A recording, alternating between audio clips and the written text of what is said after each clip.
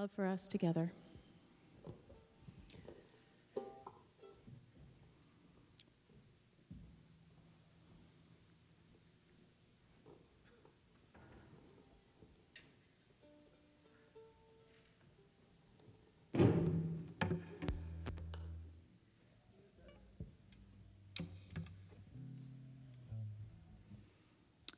All right, welcome, and I invite you to stand. We'll begin with a call to worship.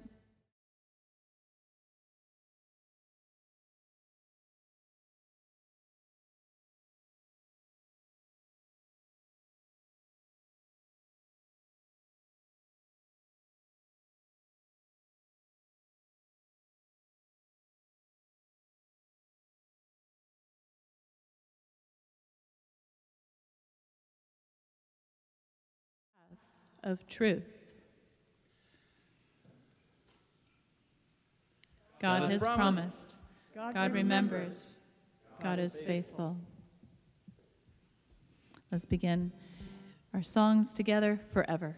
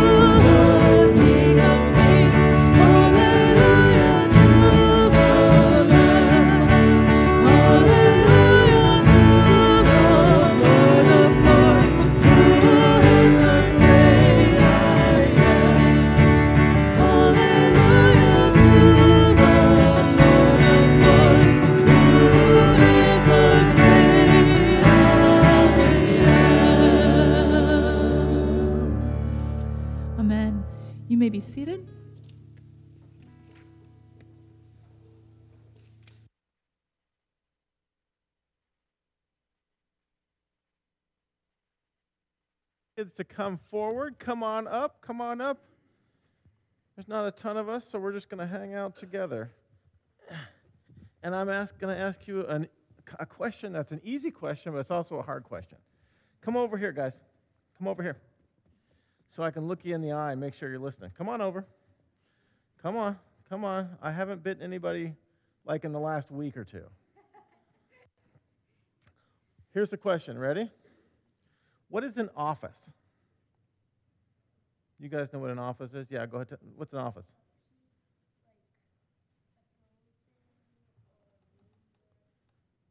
Come on up, come on up, come on up. Here's the question. The question is what's an office? Yeah, go ahead. It's a place where a specific person works. That's a very good answer. Yes. It's a place where it's kind of private for somebody to work. Right, like a home office. Yeah, yeah, yeah. There's another definition of the word office. So when you say like a politician runs for an office, do you think he's trying to get elected to, to be in a building or, or in an office space? No, right? So an office also means a position, it means a calling. And so um, there, it, it's a, it's a,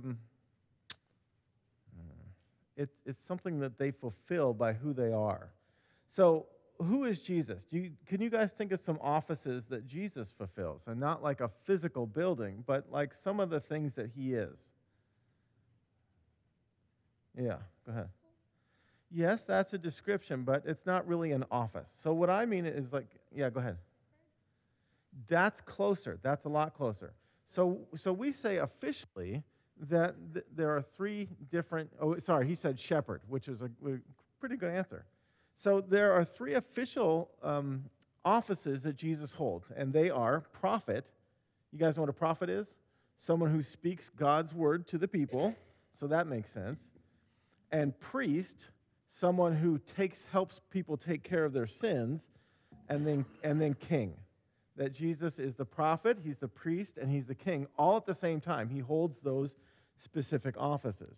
And the reason I bring this up, oops, I'm really kind of tangling here, is that today is a particular Sunday. The Sunday always before Advent is Christ the King Sunday. And so we remember that Jesus is the king. Do you guys know what it's like to live under a king? No. Do we have a king in America? I can't remember. No, no. What, what do we have again? President, right, right. And how does he become president? Is that because you know, his, his ancestors were, were presidents? No, no, no. Ah, oh, gosh, that's kings, isn't it? That's kings.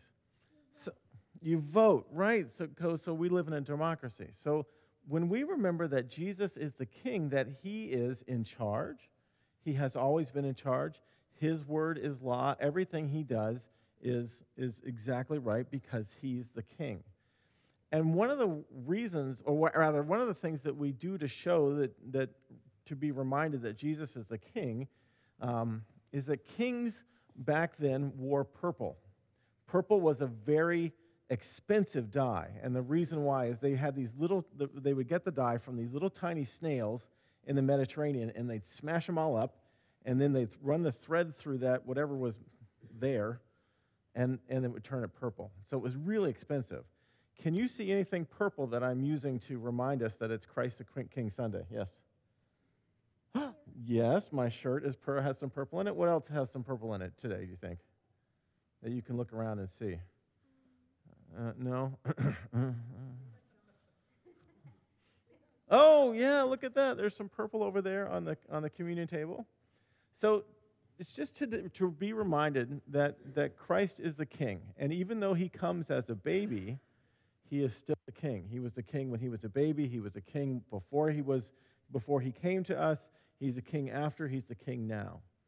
So don't ever forget, okay, that Jesus is the king and he holds that's one of the three offices that he holds. Yes, little girl that I don't know. Um, the baby's when you're in the tummy and your baby's kicking when you when you when your baby cries in the hospital. Mm-hmm. Mm-hmm.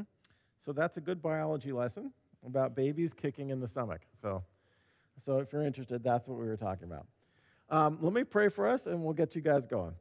Jesus, thanks for today. Thanks for being our King and allowing us to be part of your kingdom. Uh, I ask that you bless these kids, that you, they, would, they would know you better more and more every day, that you would uh, come alive to them and to us in, in every way. We pray this all in Jesus' name. Amen. All right, you guys are dismissed, I think. You're heading out. Oh, why don't we go? that way today?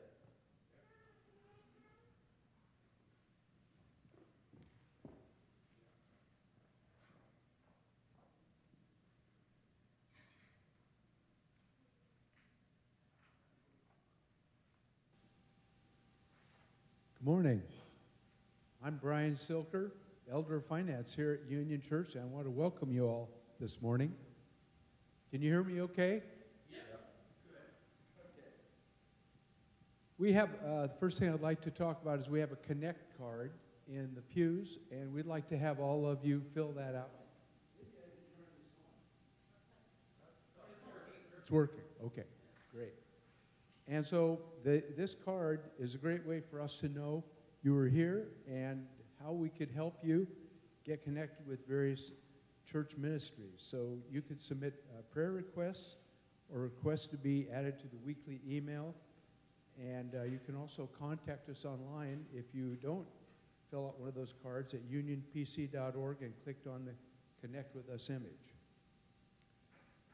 You're invited to come help us decorate the church uh, for the Advent and Christmas season on Friday, next Friday, December 1st, from 9 a.m. to 1 p.m. And if needed, on Saturday, December 2nd, also at 9 a.m. We'll be organizing and hanging the Christmas greenery and decorations. And so this is a great way to get started with the Christmas spirit and have some fun.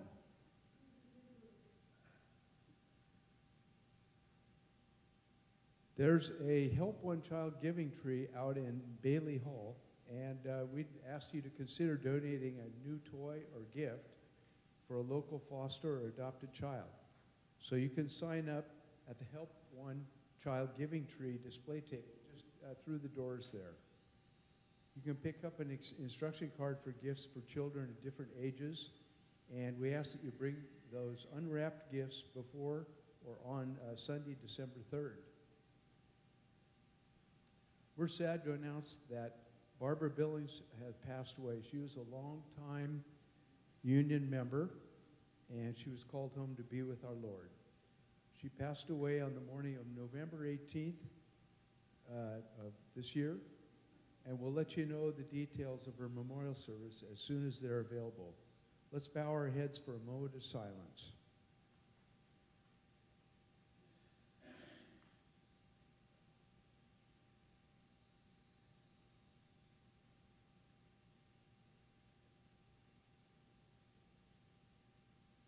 Amen.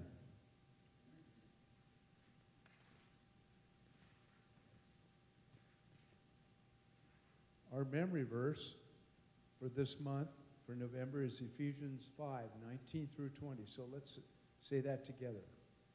Speaking to one another with psalms, hymns, and songs from the Spirit.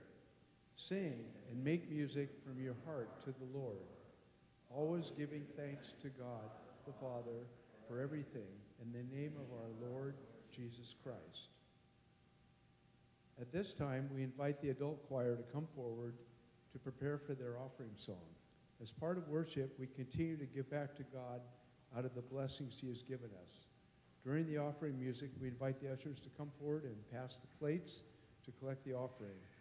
And other ways to give are by mailing your check to the church, or you can give online at unionpc.org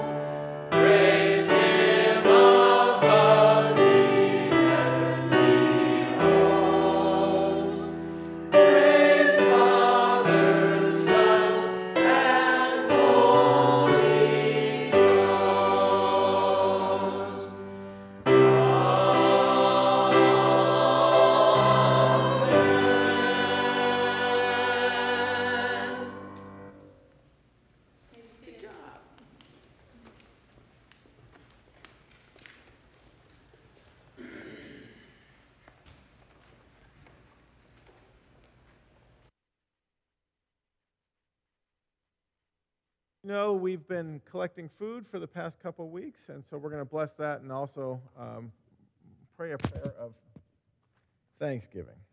Let's pray.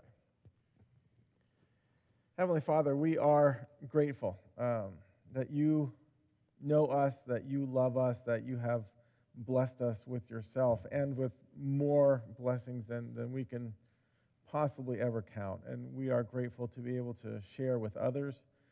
So we ask, Lord, that the food that has been collected would be going to the right people who, who truly need it and will be blessed by it. Um,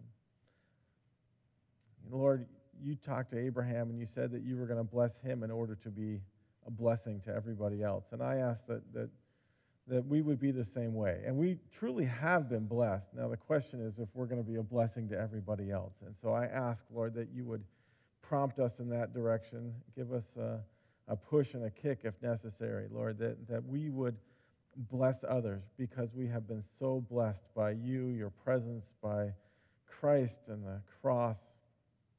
We are blessed. Um, help us to recognize that and to, to seek to bless others um, because of who you are. We are grateful, Lord, for, for this place and, and for your love. Help us, Lord, to live in it. We pray this always in Jesus' name. Amen. All right.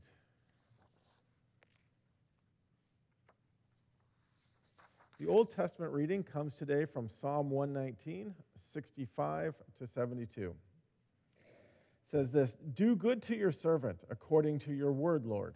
Teach me knowledge and good judgment, for I trust your commands.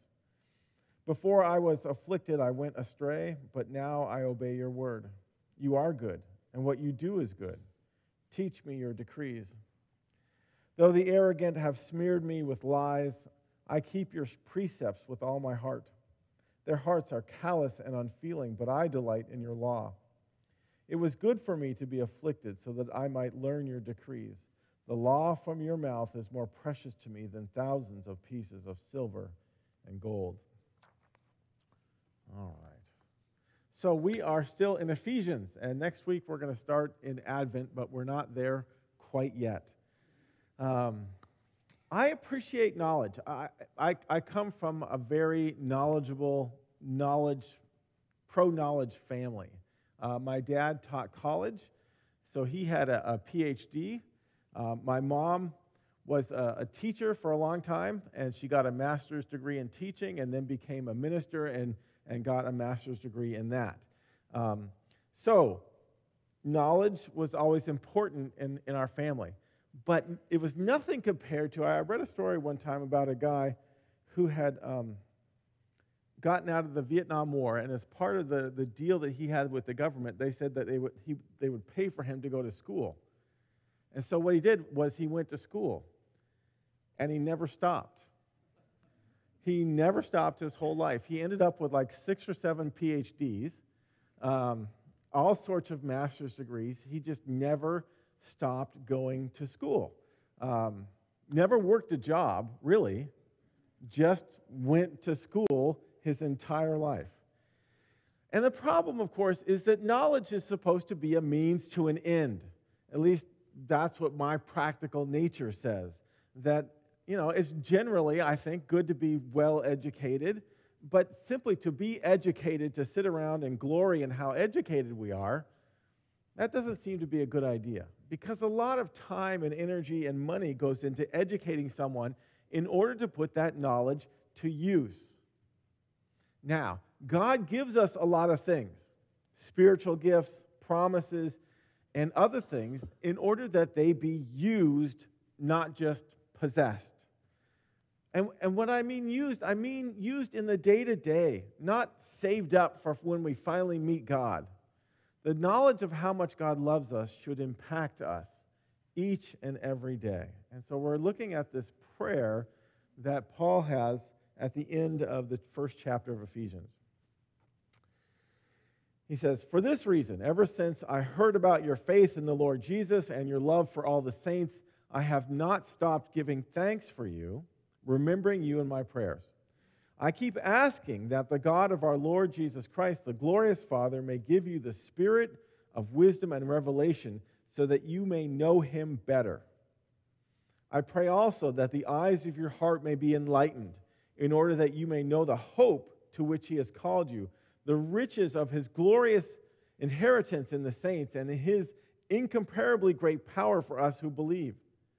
That power is like the working of his mighty strength, which he exerted in Christ when he raised him from the dead and seated him at his right hand in the heavenly realms, far above all rule and authority, power and dominion, and every title that can be given, not only in the present age, but also in the age to come. And God placed all things under his feet and appointed him to be the head over everything for the church, which is his body, the fullness of him who fills everything in every way. Let me pray for us.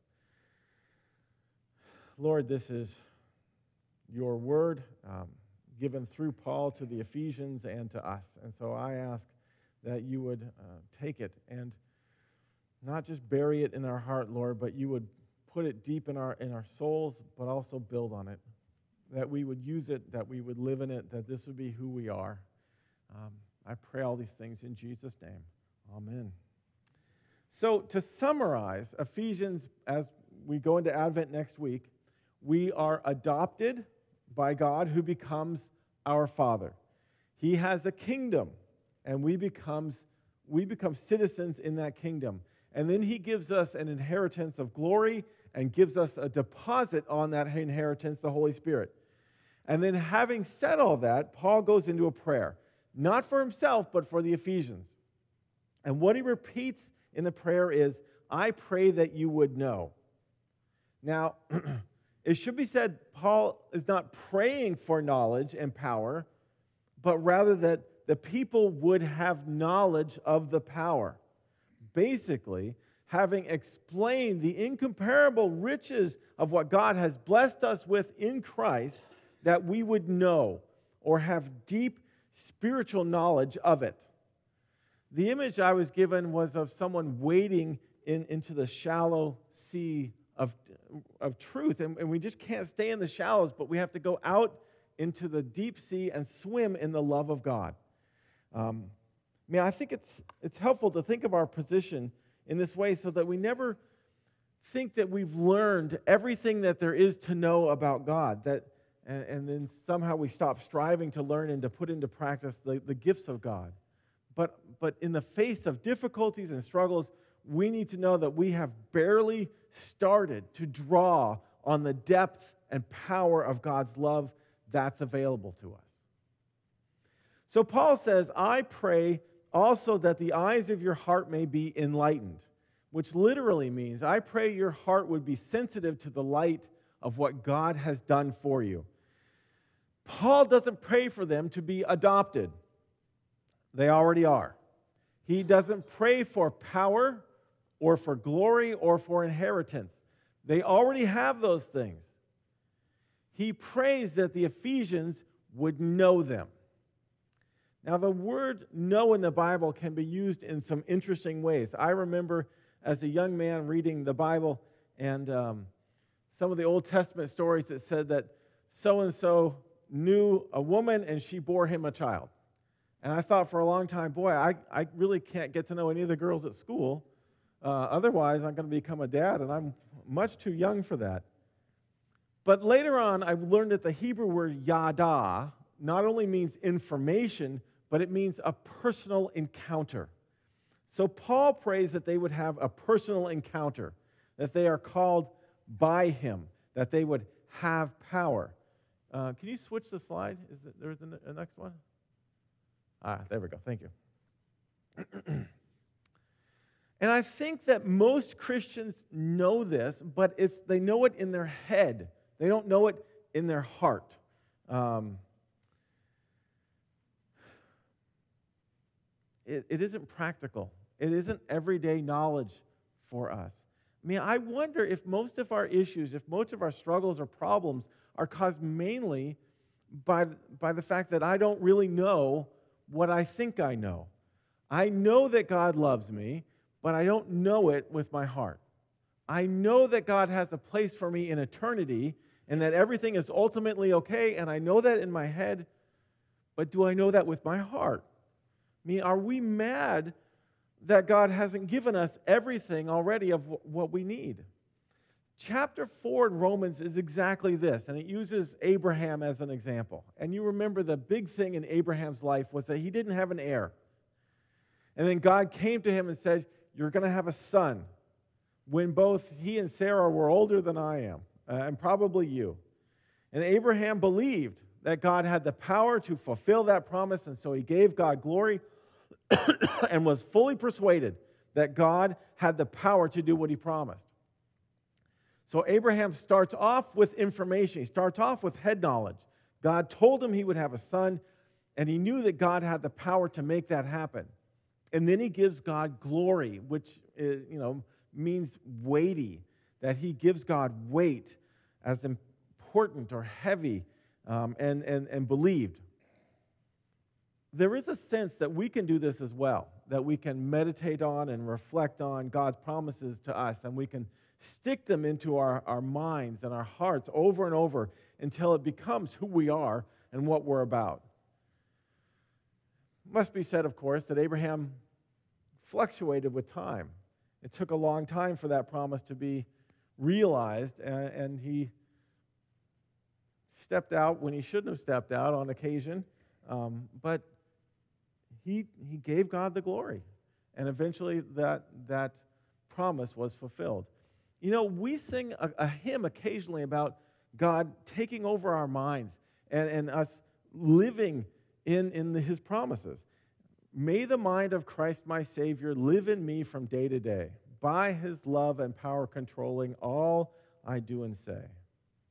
See, the thing is, if we have enough hope, if we understand our, we, if we have enough hope, we understand our calling. If we have enough wealth, we understand our inheritance. If we have enough power, we realize we can do anything in Christ. The problem is we so often don't see it, that our hearts are closed to what God might do. Our eyes are closed to what God might do. And this is a situation, I have to tell you, this is specific to Christians, not just anyone. So let me back up and say, how do we know that we're a Christian? Well, there's two things that are important. One is doctrinal beliefs, and the other is practical character. Each of these qualifications can go sideways, and you've seen that. If doctrinal beliefs don't matter, you'll hear something like, well, it doesn't really matter what you believe as long as you're a good person. And then the flip side, when practical character issues go sideways, you'll hear something like, well, you can be a part of our church as long as you believe in the creeds and our understanding of Scripture and you sign the statement of faith. And yes, there's a lot of infighting around here, and don't talk to so and so and you want unless you want to get gossiped about. But the good news is we all believe the same stuff. Doesn't work that way. God won't ever say that right doctrine proves you're a follower of Jesus or a compassionate life makes you a Christian. There are lots of sweet folks out there who believe, and a lot of folks who have a knowledge of right, right doctrine but have zero actions to back it up. Knowledge of God should be a working knowledge, and it should be useful in the day out, day in, day out life of a follower of Jesus. And the reason I bring this up, just to be clear, is that Paul says, For this reason I prayed about you ever since I heard about your faith in the Lord Jesus. And then later on, he talks about having love for all the saints. Those two things go together. The knowledge of God brings together those two, the doctrine and the love together in this working system. You know, it's funny, Paul could have prayed so much for the Ephesians that they wouldn't suffer persecution. He could have prayed that they would stay mentally healthy and mature, that they would be physically safe and healthy. but what he prays for is that they would know God better. And whether you know it or not, that is your life's goal to know God better the ba- basic purpose of every event in your life and mine is to know God better. Now, we all know that there's two basic types of knowledge there's book smarts and there's street smarts.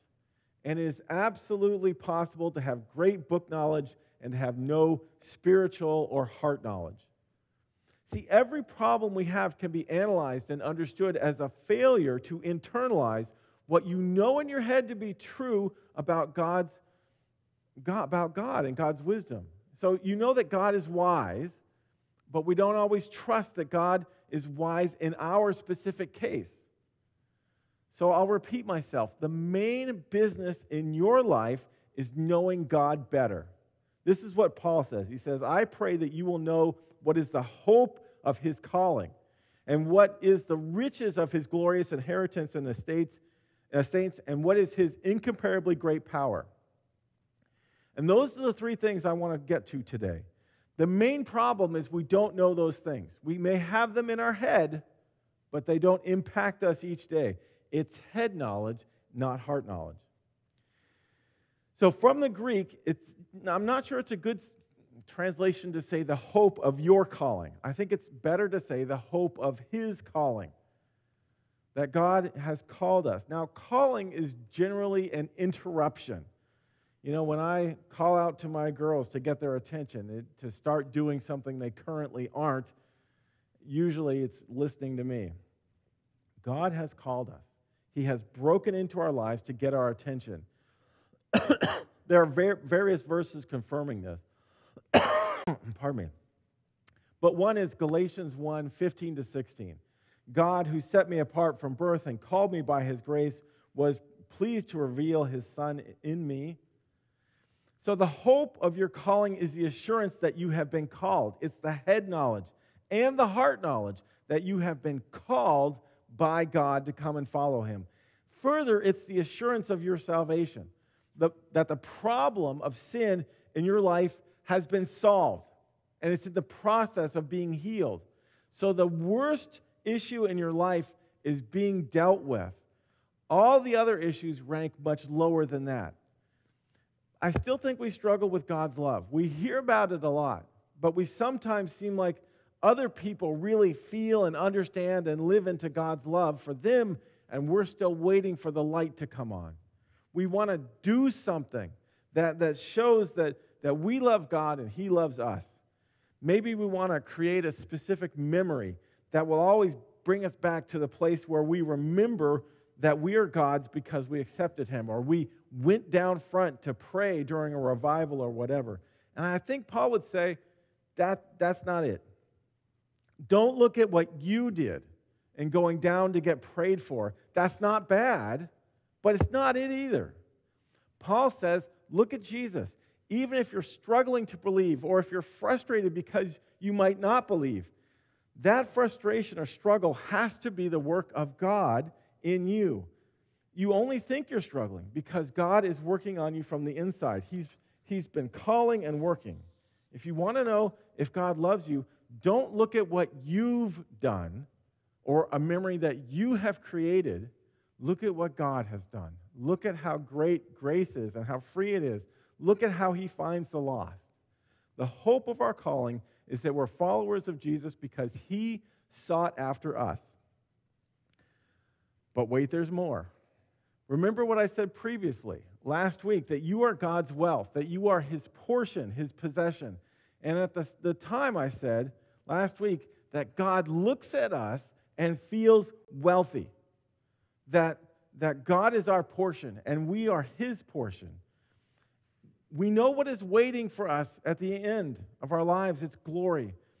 Ephesians talks about the glorious, the riches of our glorious inheritance. So God's wealth and, and that future is freely shared with us. And this can be understood in a couple of ways.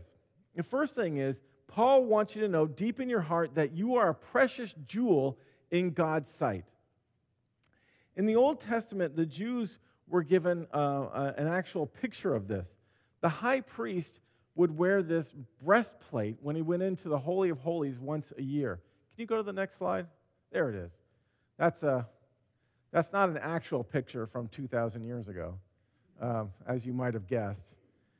But this is what he would wear. And, and so each precious stone on there would have a, the, the, um, the name of a different tribe um, inscribed right, right near it.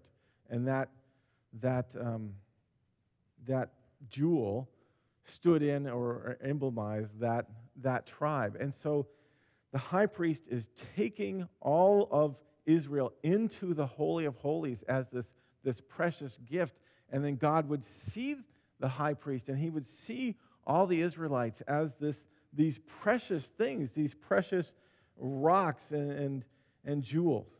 And, and that really is a picture for us in the Old Testament but it's also how Jesus does it in, in the New Testament when he brings us to God, us in his hands. Um, we are God's kids. And, and so Jesus sees a precious jewel in you over the heart of Christ. That Christ brings us to the Father. And so God sees you as a precious, beautiful object. And if you know this, deep in who you are, it should affect how you live. One of the things we're going to have to address eventually with Lisa and Daisy at some point is the importance of tests. It's important to do well on tests as well as you can, but without turning tests, of course, into an idol of some sort. Knowledge, like I said, is important in our family, but it isn't what saves us. It isn't our security. I want them to, to, to live out, and I want them to know that they are already loved by God. He has already promised to take care of them. They already have an abundance inheritance in God. And, and when they are scared and when they disobey, they like me, when I choose to do those things, have forgotten, hopefully temporarily, that we are precious to God. When King David does his thing with Bathsheba, he has forgotten who he is, whose he is, who he is. He has forgotten that he's precious in God's eyes in his quest to do what he wants to do. And then we read in Psalm 51 David remembering who God is and remembering who he is. You know, there's lots of places where Jesus reminds people to depend on God rather than what they can control.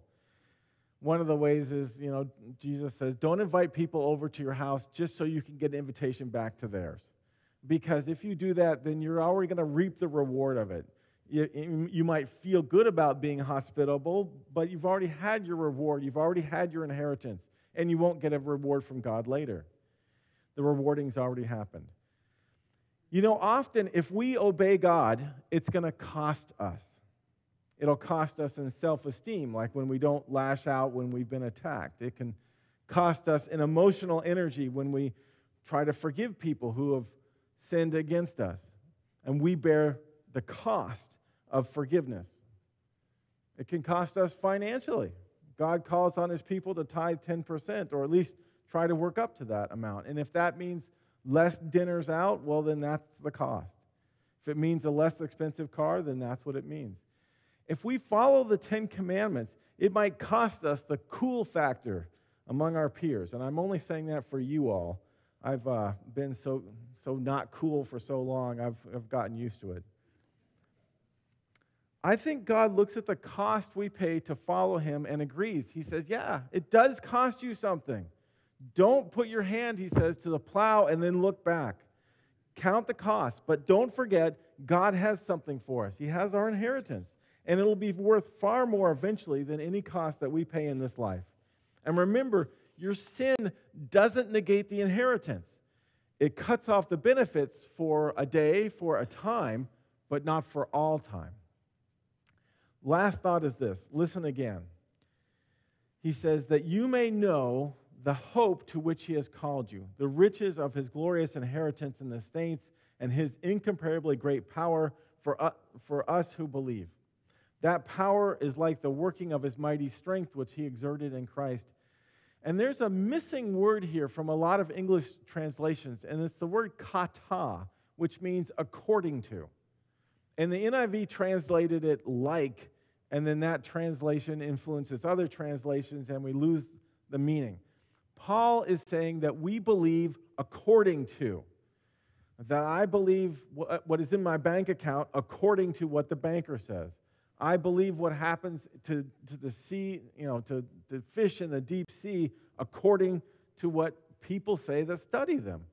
So look at the sentence again. That you may know the hope to which he has called you, the riches of his glorious inheritance in the saints, and his incomparably great power for us who believe. That power is according to the working of his mighty strength, which he exerted in Christ when he raised him from the dead.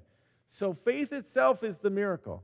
We believe because of what God did through Christ. Paul says the power of God working in us is the same. We saw it already when God raised Christ from the dead. There are many demonstrations of power all around us. I think of the atmospheric rivers from last winter or the fires that thankfully weren't as bad this year. But the scariest power out there for us is the power of death. And we see this in ourselves as we age. Death is the ultimate enemy. And yet we know that God defeated death through Christ. That physical death has no claim on us anymore as followers of Jesus. As soon as we close our eyes for that final time, we're in the presence of God, more alive than we ever have been.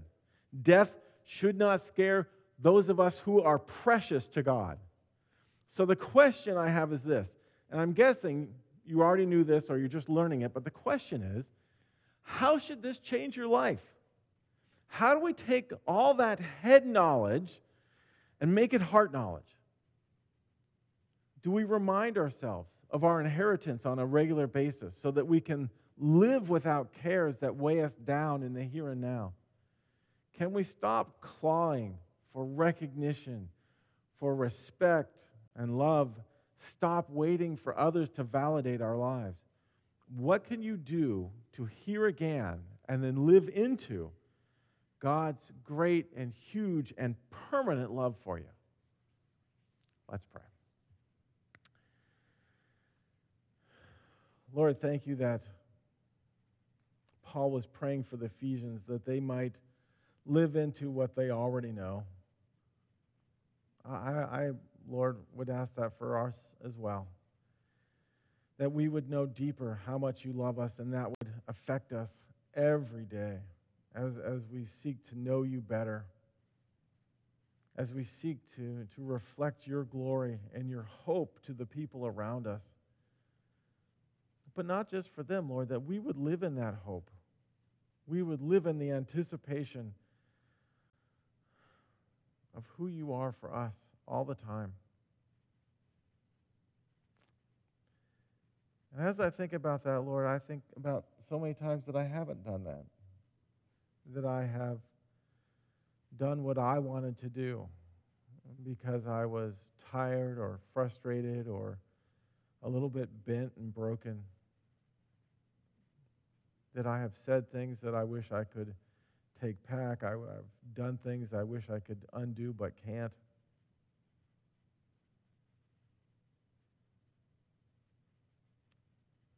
So, Lord, I, I ask that you would, in this space that we have with you, in the silence, Lord, that you would lead us. Remind us that you love us, but also that you want to change us to be more like the people you created us to be. To be.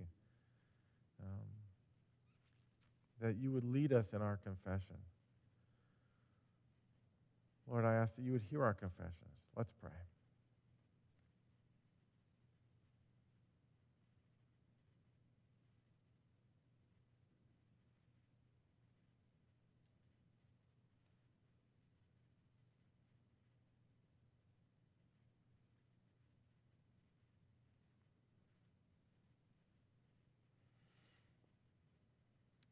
God, it is so intimidating sometimes to know that you know us so thoroughly. There's nothing that is hidden from you, and yet we seek to hide our faces because we're ashamed of, of the things that we have said, the things that we have done, even the things that we've thought sometimes pull us up short and, and make us just shake our heads at our own actions, our own thoughts.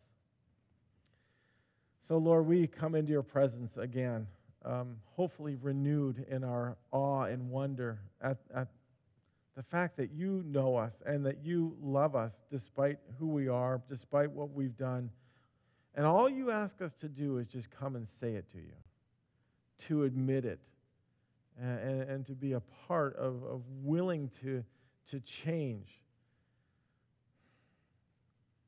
led, of course, by the Spirit that you've already put in us as, as a deposit.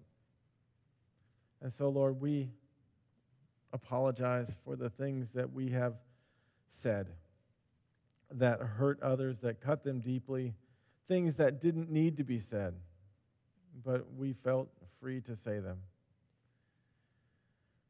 We apologize for the things that we didn't say, the, the encouragement that we could have given, the compliments, the um, the grace we could have given that we chose to hold on to. We apologize, Lord, for those things.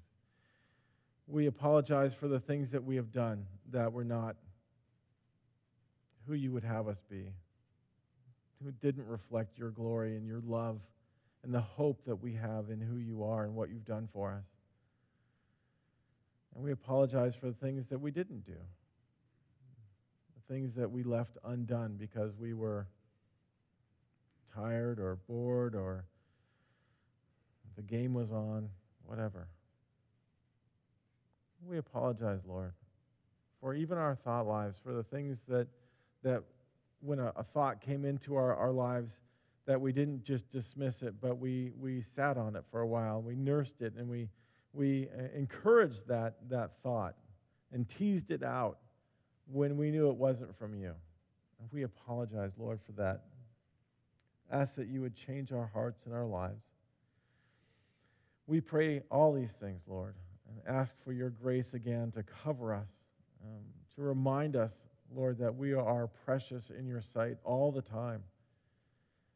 And there's nothing we can ever do to lose that.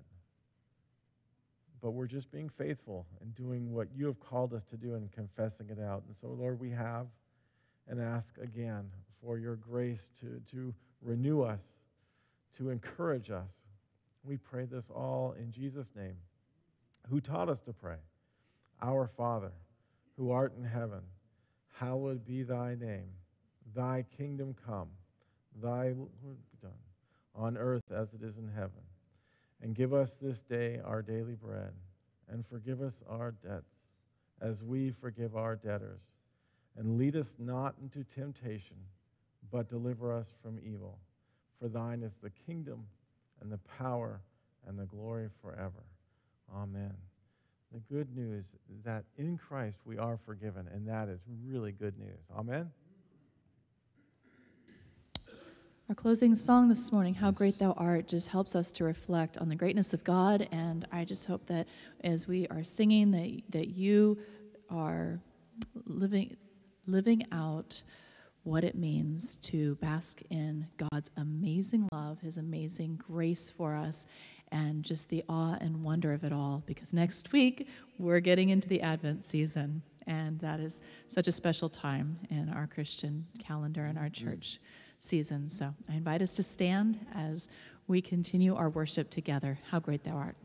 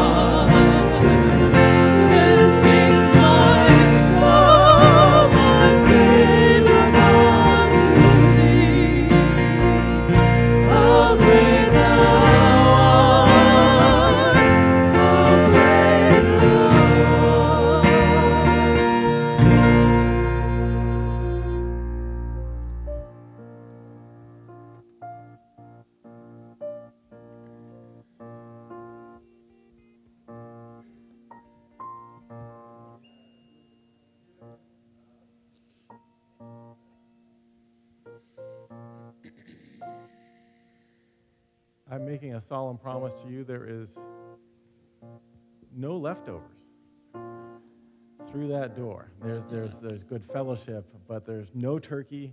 Uh, there's no potatoes that are left over. It's all good for, for you. So come and enjoy. So let me send us out with a blessing. Lord, send us out from this place full again uh, of the knowledge of your love for us. You are the King, in that still you know us personally, you love us. Help us, Lord, to, to live in and through that knowledge. That would affect everything we say and do and our perspective on the world.